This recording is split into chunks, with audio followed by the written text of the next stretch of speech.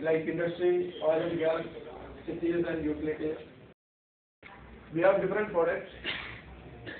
Those products come like uh, the air insulator substation, which is uh, high voltage AC system. We have gas insulator substations. We have power transformers, network management systems, power electronics, which is basically